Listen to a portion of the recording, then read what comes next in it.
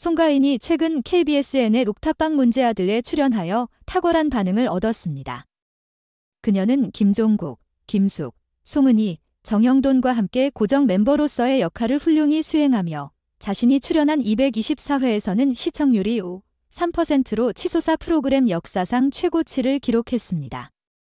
송가인의 매력적인 출연 덕분에 시청률이 상승했고 김종국 선배는 이에 대해 매우 기뻐하며 그녀를 위한 별도의 프로그램 제작을 제안하기도 했습니다.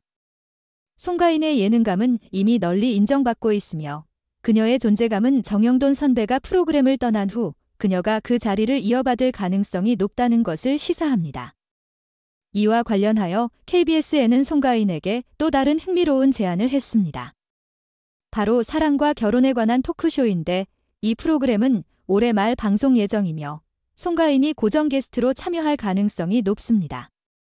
송가인의 음악적 성공도 계속 이어지고 있습니다.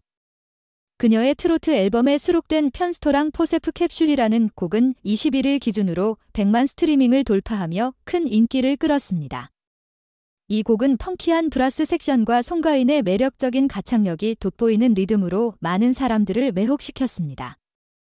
그녀의 음악은 SBS 트로트쇼에서도 1위를 차지하며 그 인기를 입증했습니다. 송가인은 예능뿐만 아니라 연기 분야에서도 주목을 받고 있으며 사회적으로도 매우 활발한 활동을 하고 있습니다. 그녀는 다양한 자선 활동에 참여하며 어려운 이웃을 돕는 것에 큰 관심을 보이고 있습니다.